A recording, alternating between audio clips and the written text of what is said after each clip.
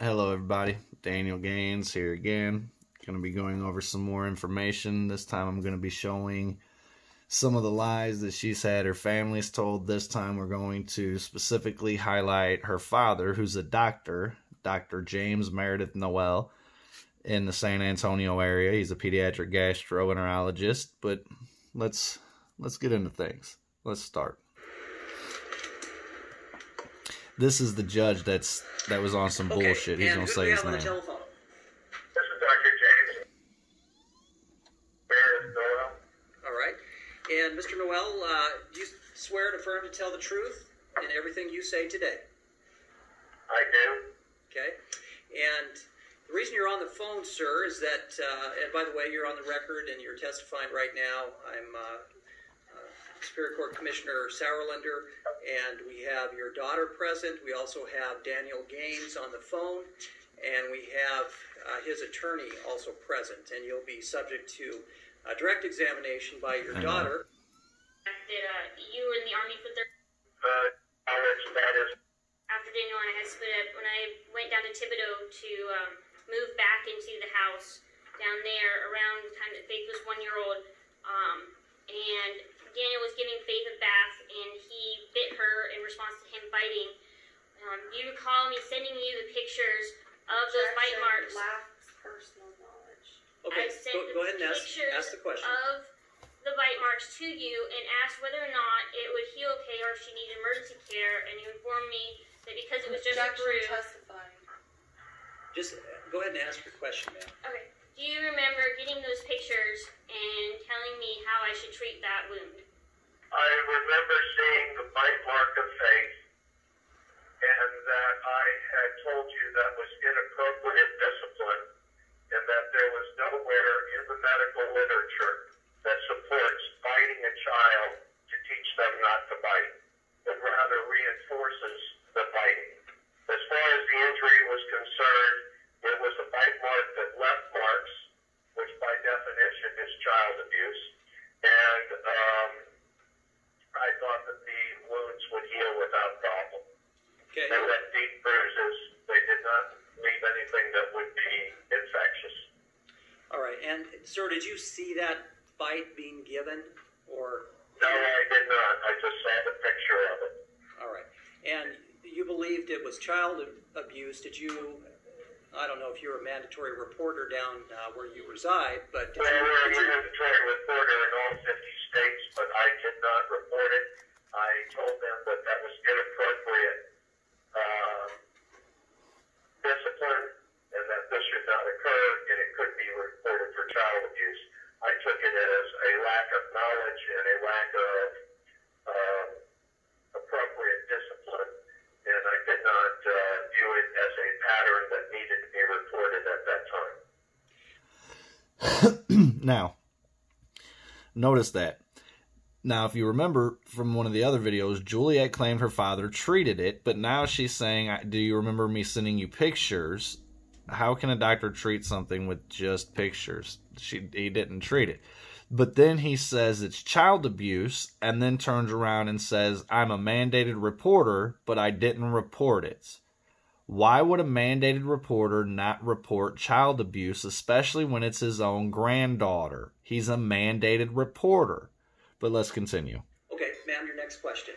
Um, the next question would be that um, when I first got sick with lymphoma in 2005, uh, I sent Faith to go stay with Daniel. And when she was returned, she had uh, a very infected, bleeding diaper rash. Um, and I brought her to you because the ointments that I had been using weren't working. And you recall me bringing her to you and what your response was to this. Yeah, she had a severe yeast infection that was bleeding. And we often see yeast infections in children when the sugar content of their diet is very high. Now, to this. Why is it that none of this was ever mentioned any time before until 2015? If she had a very bad yeast infection that was bleeding and everything else, why was it never said before? And also, why did Juliette neglect to mention that my daughter and her daughter, our child, had a severe acid reflux problem and was actually on reflux medicine from the time she was literally just a couple months old until, well, I honestly don't know till when, but until some point later on in her life. That was neglected and everything else. But let's continue. Her. Uh, they- That with Daniel, where he Oh, here we go. I, I don't specifically remember the conversations you had with Daniel, but I remember one conversation I had with Daniel where he threatened m- mom, myself, and our entire family, and uh, used vulgar language and uh, intimated we were a bunch of. Um, um, uh, people that uh, were not um, following a moral code that was his moral code. Okay, now there. Notice how he says I was making threats to the family, cussing them out, and saying that they didn't have the same moral code I did. Okay, we're gonna get into his declaration here in just a minute, where we're gonna, yeah, I'll that I'll go into that. He he says I I threatened to kill him and his wife in his declaration, but that's not what he says here. But let's continue. Okay, next question. um, and do you remember? Oh yeah, the little wow you just heard was me saying wow in response to his that I wasn't supposed to be talking at that point because it wasn't my turn yet. But yeah, that's what I said in response to him directly on the phone. Wow, just, that's just all I could say at that point. Um, Daniel stated that the last time he saw Faith was actually on her the day of her fourth birthday. Um, and do you remember on that day um, whether or not Daniel was actually present or whether I had actually gone off trying to find him at his hotel where he was not available? All right. Do you, sir, do you remember? The last time I saw Daniel was at a birthday party that was at a pool at an apartment complex next to Sonterra. I have not seen Daniel since that time. I have had two phone calls, actually three phone calls now from Daniel. One where he called up recently uh, saying that he was, due to problems in Washington, he was going to uh, sue to have uh, custody of Faith given to him. And I can only say that the times I have met with Daniel, he could not look me in the eye. He has not ever proven himself to be honor with it. The one time we leased the house to him to take care of, he left it in horrible condition. And Okay, I, there, there's been an objection, sir. Uh, Okay, we're gonna pause there. Anyway, never looked him in the eye. Lying piece of shit. I fixed you and your daughter's relationship at one point. Ain't helped you and your wife's relationship, you lying puke. But anyway, as far as the last contact goes, he claims it was at a birthday party. Well, he would obviously have to be talking about my daughter's fourth birthday party. I guess he forgets the day of her fourth birthday party. I wasn't there. That was the day after her fourth birthday. I didn't get to go.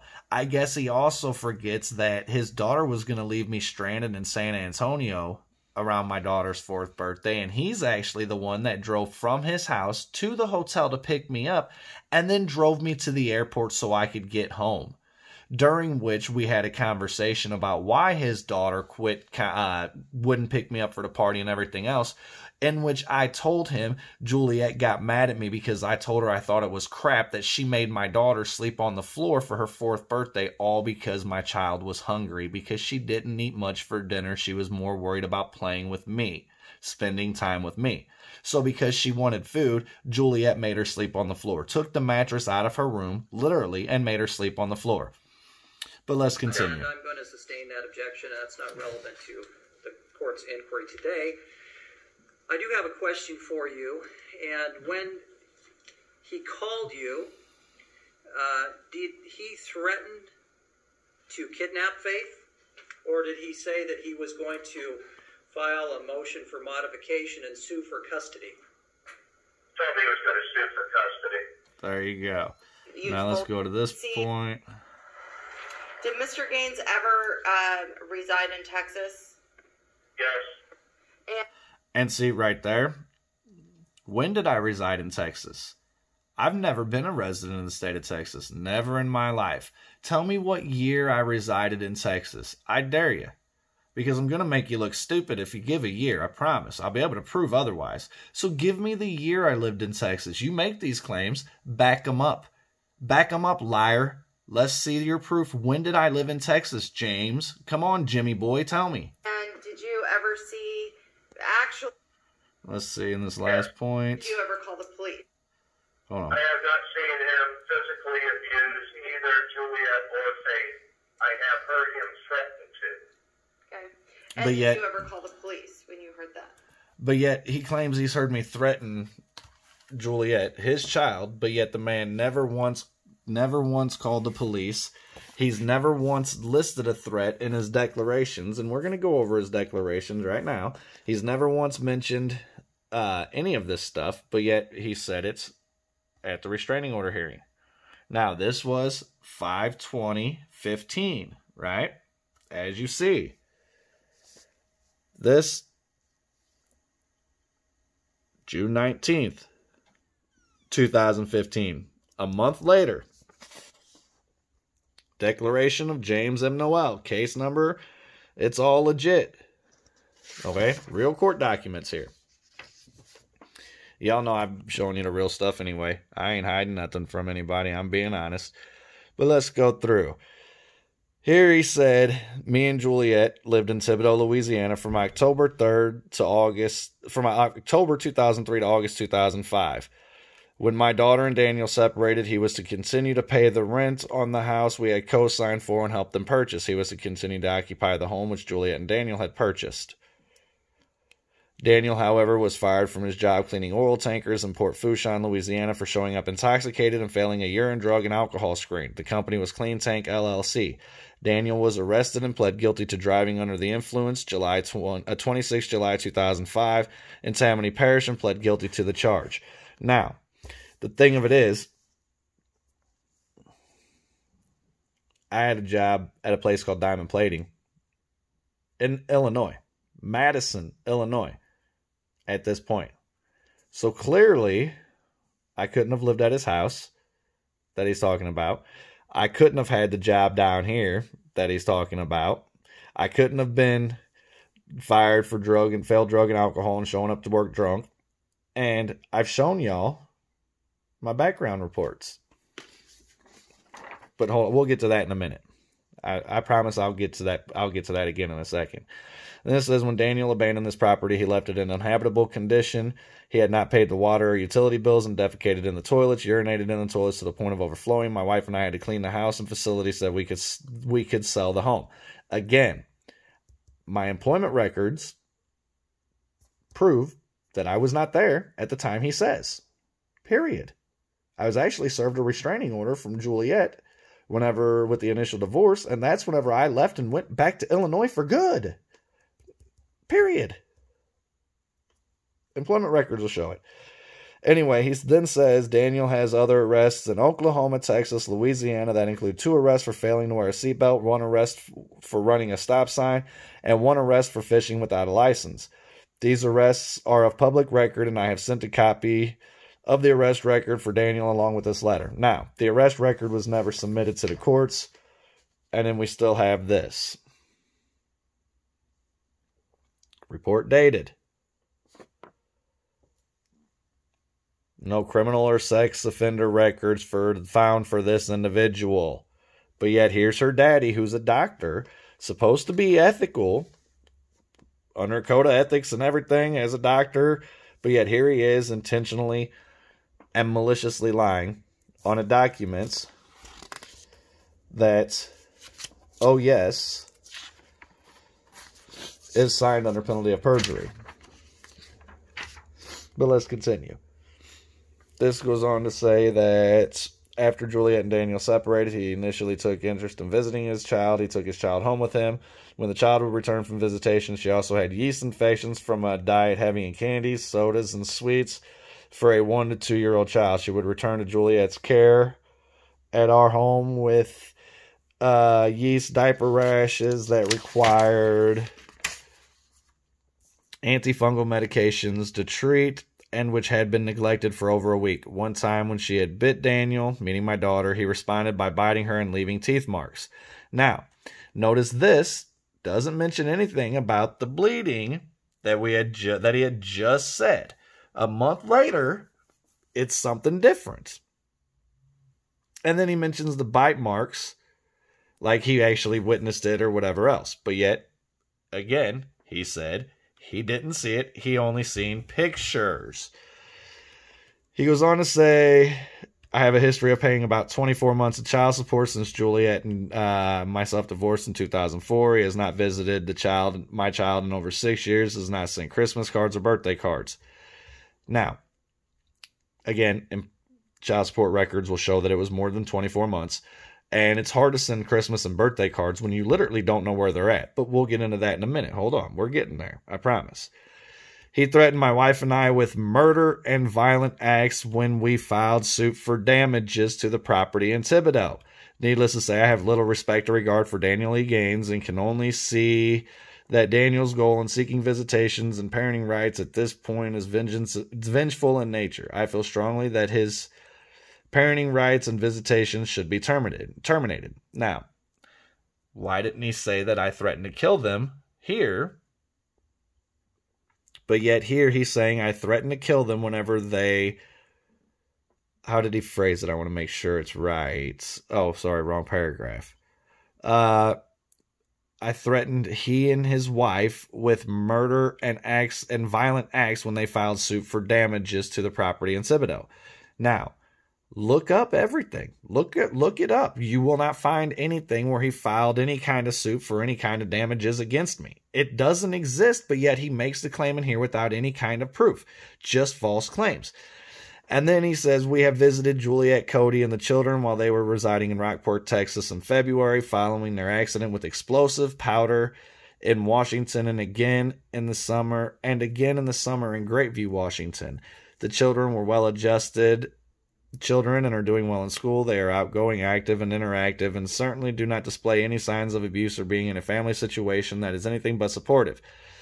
The these visits have occurred occurred following the explosion, which occurred in their home. The children's only concerns following the explosion was the health of their mother and Cody. They were not traumatized and have handled the situation quite well.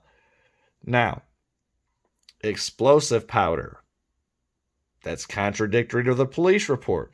So either his child's been, li- meaning Juliette, has been lying to him about things, or again, he's lying to the courts trying to minimize what his daughter was actually arrested for.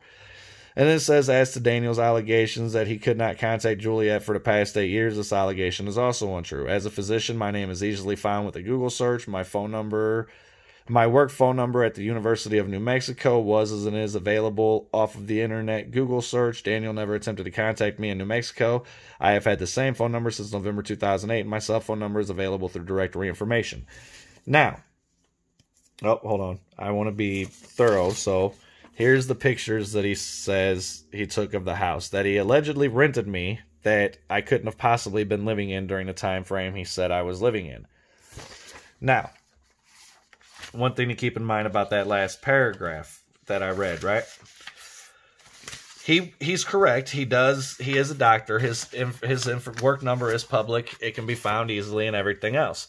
However, cell phone records from the 2015 court stuff will show that I had to call his work uh, his work number probably more than 30 different times and then straight tell them I will not stop calling until he calls me back just to get a response from him, just to find out if my ex wife, Juliette, and my daughter were still in the Washington area so I could try and get my daughter away from her mother in 2015 after I learned of the explosives.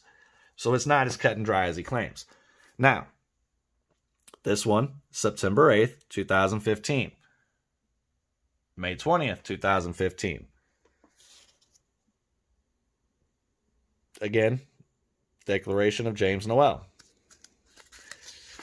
This is in regards to a motion to relocate. Wife of 41 years, her dad saying his wife of 41 years, Carol, experienced a stroke on, in October of 2013. now, it's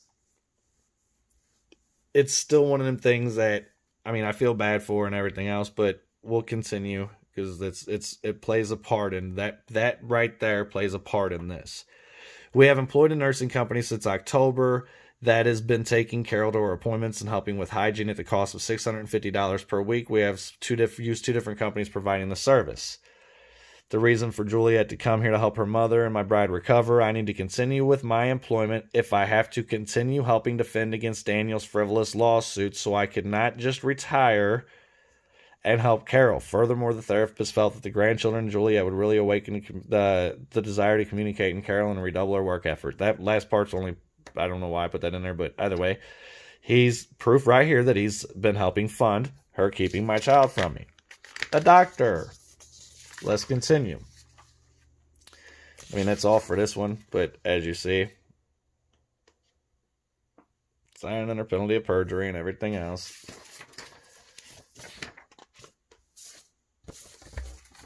Now, this, like I said, again, this part here was in uh, for her notice to relocate, right? Now, notice how her dad's talking about 650 bucks a week, how he's wanting, he's going to pay her to do it. Uh, he says in there that he's going to pay her to do it uh, the same amount and everything else. Well, this is where we get into things. Child has lived with uh, Juliette the entire life, other than the first five months. She has not lived in the same state as Daniel. Therefore, her, therefore, her location of residence shouldn't matter. He has not developed any relationship with the child. He has not taken advantage of the visitation provided in the current parenting plan, even though he has known my location and contact information, and he has clearly, undisputedly had this information for, for the past several months and has still not chosen to visit his child, despite me actively trying to assist him in setting up a visit back in July for her birthday. He did not even mail her a birthday card and refused to come visit her. Now, keep in mind, this is going to be vital here in a few minutes. She's saying, I didn't send my child a birthday card, I don't contact her or anything else. So keep that in mind. Here she says, so it would be extremely detrimental detrimental to her to dis, to her to disrupt contact between my daughter and her mother, as well as between her and her little brother. There would be no disruption between her and Daniel, as there has been zero contact between her and Daniel for more between her and Daniel for more than half her life, due to malicious mother. Daniel has supervised visitations for being uh, abusive physically and mentally to both myself and the child and being neglectful to the child while caring her for her. Now, she's never alleged neglect before. It's only been physical abuse, uh, blah, blah, blah. Got a lot of issues. But again, this is the part that I want you to really focus on for now, right? But let's, but we'll, we'll, we're, get, we're getting there. I promise. After living with me for 12 years and her brother for six years, not being able to move with me would be traumatic. Also, watching me go through chemotherapy and other medical treatment in Washington, where I live, where I don't have family to, to help me, would be very traumatic as well. This is where she's claiming that she has cancer and that she needs to be able to go live with her Texas. Here she says her dad is offering her $2,000 a month to take care of her mom. She says the school my child is now attending in Texas has testing scores far above, supposed to be above national and state standards. The school the child is now attending in Texas.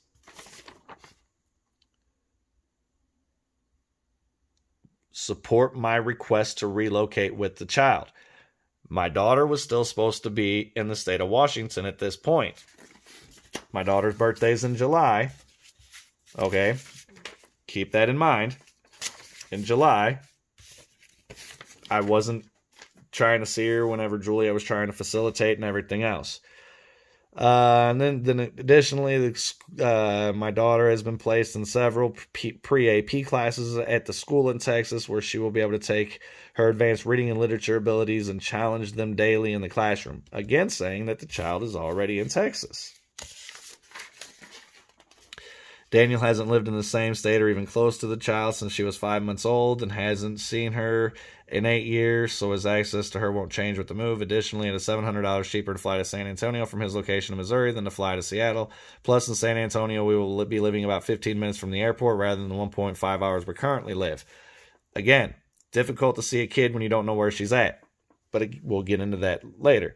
It'd be several months before trials could be had. In the meantime, the child's school year is proceeding. She needs to be in the new school and have the consistency of the school and the superior programs the new school offers to her. Now, here she's saying she needs that the child needs to get down there to go to school after she said that she's already in the school. And that's just to be thorough to show the rest of the page. But I mean, it's she's already saying that she's there. There's where she's talking about being offered two thousand dollars a month and blah blah blah.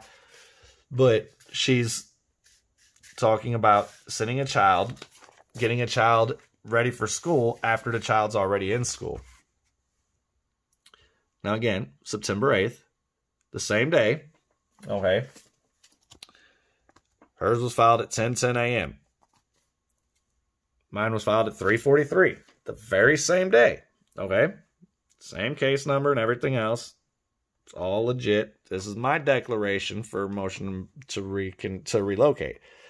I have been receiving multiple text message, messages from Miss Parker on almost a daily basis. I have requested that she stop contacting me directly and go through our respective attorneys. I know that once Miss Parker is allowed to relocate to Texas, that she will disappear again. And that's what happens every time. As for the lack of personal service, I am only the only notice of relocation that I have received lists her attorney's address as the place to deliver the objection. The address that Ms. Parker submitted initially with the D- domestic violence protection order in May of 2015 was blah blah blah Grapeview Drive, Grapeview, Washington. Now she's claiming that she lives at in Belfair, Washington, which means that either Miss Parker lied about her residential address or she moved without notice of her relocation after I filed a petition to modify the parenting plan. Which again, court records will back this up. So she obviously wasn't giving me notices of relocations, or she wasn't being forthcoming with a truthful, with an honest and correct address. Okay, hold on. Keep in mind, though, she said I didn't try to see my kid or anything else in July in the state of Washington where my daughter was supposed to be. In regards to Miss Parker's request to relocate immediately, I believe that Miss Parker is already re- relocated. Miss Parker has admitted that she sent my child to Texas on May 5th, 2015. But wait, I didn't send my kid a birthday card or come see her for her birthday in the state of Washington because I chose not to. But yet, sent my daughter to Texas on May 5th, before even the restraining order hearing.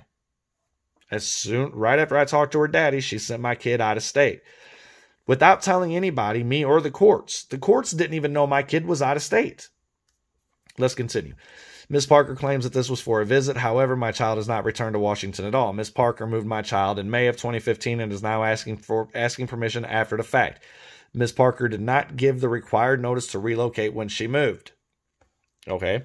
If Miss Parker does have cancer, then the treatment for that cancer will make her too sick to care for her mother. Again, she's wanting to go to Texas to care for her mother, as her father claimed, but yet she's going to go down there and have cancer treatments Father claims taking care of the mother. She's claiming cancer treatment. My mother died of cancer. Okay. That's serious. Cindy Lou Cindy Lou Gaines, you can look into it, Granite City, Illinois. She died of uh, cancer. And while she was undergoing treatment, she wasn't fit enough to take care of anybody else. I had to help take care of her help her put her on a bedpan so she can pee before she was before that she wasn't before she was bedridden when she was able to get up and walk there were times we had to help her to the bathroom and everything else but let's continue in regards to her mother's stroke, Ms. Parker submitted a declaration in this matter that states that she moved to Texas in 2014 to care for her mother because she had a stroke in June of 2014. Ms. Parker made that statement because I had stated that she has a track record of fleeing jurisdiction to avoid prosecution or court orders.